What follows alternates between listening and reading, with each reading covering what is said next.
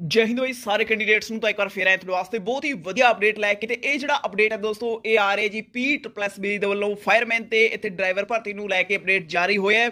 Site ਤੇ ਜਾ ਕੇ check ਵੀ ਕਰ ਸਕਦੇ ਹੋ ਇਸ਼ਤਿਹਾਰ ਨੰਬਰ ਹੈ ਜੀ 1 ਆਫ 2023 ਤੇ ਇਹਦੇ ਰਾਹੀਂ ਜਿਹੜੇ ਡਰਾਈਵਰ ਆਪਰੇਟਰ ਫਾਇਰਮੈਨ ਦੀ ਪੋਸਟਾਂ ਸੀ ਮਿਤੀ 12/10/2023 ਤੋਂ ਲੈ ਕੇ 16/10/2023 ਤੱਕ ਪੰਜਾਬ ਪੁਲਿਸ ਲਾਈਨ ਰੋਪੜ ਵਿਖੇ ਇਹਨਾਂ ਭਰਤੀਆਂ ਦਾ ਫਿਜ਼ੀਕਲ ਟੈਸਟ ਹੋਣਾ ਸੀ। ਬਟ ਤੁਸੀਂ ਇਹ ਨੋਟੀਫਿਕੇਸ਼ਨ ਦੇਖਿਆ ਹੀ ਨਹੀਂ ਹੋਏਗਾ ਕਿਉਂਕਿ ਸਮੇਂ ਸਿਰ ਸਾਈਟ ਤੇ ਅਪਡੇਟ ਨਹੀਂ ਹੋਇਆ। ਹੁਣ ਰੀਜ਼ਨ ਕਈ ਹੋ ਸਕਦੇ, ਇੱਕ ਤਾਂ ਪੀਟਰ ਪਲੱਸ ਵੀ ਭਰਤੀਆਂ ਦੀ ਜਿਹੜੀ ਪ੍ਰੋਸੈਸ ਹੈ ਕਾਫੀ ਫਾਸਟ ਕਰਨ ਦੀ ਕੋਸ਼ਿਸ਼ ਕਰ ਰਹੀ ਹੈ ਜਿਸ ਦੇ ਚੱਲਦੇ ਇਹ ਮਾੜੀ ਮੋਟੀ ਗੜਬੜ ਹੋ ਰਹੀ ਹੈ। ਇਸ ਤੋਂ ਪਹਿਲਾਂ ਤੁਸੀਂ ਜੇਲ੍ਹ ਵਾਰਡਨ ਤੇ ਮੈਟਰਨ ਭਰਤੀ ਬਾਰੇ ਵੀ ਠੀਕ ਇਹੀ ਦੇਖਿਆ ਹੋਏਗਾ ਕਿ ਨੋਟੀਫਿਕੇਸ਼ਨ ਆ ਗਿਆ ਸੀ, ਉਸ ਤੋਂ ਬਾਅਦ ਉਹਨਾਂ ਦੀ ਜਿਹੜੇ ਜਵਾਨਾਂ ਦੀ ਲਿਸਟ ਅਪਡੇਟ ਨਹੀਂ ਕੀਤੀ ਗਈ। ਸੋ ਉਹ ਜਿਹੜਾ ਟ੍ਰਾਇਲ ਤਾਂ ਪੋਸਟਪੋਨ ਕੀਤਾ ਗਿਆ ਸੀ।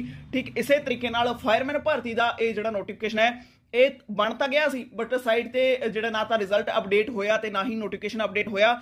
ਇਸ ਕਰਕੇ ਹੁਣ ਤੁਹਾਡਾ ਜਿਹੜਾ ਫਿਜ਼ੀਕਲ ਹੈ, ਉਹ ਅੱਗੇ ਕਰ ਦਿੱਤਾ ਗਿਆ ਹੁਣ ਤੁਹਾਡਾ ਫਿਜ਼ੀਕਲ ਜਿਹੜਾ ਹੈ, ਉਹ ਹੋਏਗਾ ਜੀ 18 10 2023 ਤੋਂ 23 10 2023 ਤੱਕ। ਤੇ ਹੁਣ ਤੁਹਾਡਾ ਫਿਜ਼ੀਕਲ ਹੋਏਗਾ ਜੀ Punjab jail training school Patiala ਵਿਖੇ। ਪਹਿਲਾਂ ਇਹ ਰੋਪੜ ਵਿਖੇ ਹੋਣਾ ਸੀ, ਹੁਣ ਤੁਹਾਡਾ ਜਿਹੜਾ ਫਿਜ਼ੀਕਲ ਹੈ, ਇਹ ਹੋਏਗਾ ਜੀ Punjab jail training school Patiala ਵਿਖੇ। ਤੇ ਡੇਟ ਕੋਈ ਜ਼ਿਆਦਾ ਅੱਗੇ ਨਹੀਂ ਕੀਤੀ ਗਈ ਹੈ। 18 10 2023 ਤੋਂ ਲੈ ਕੇ 23 10 2023 ਤੱਕ ਤੁਹਾਡਾ ਜਿਹੜਾ ਫਿਜ਼ੀਕਲ ਟੈਸਟ ਹੋਣਾ ਹੈ।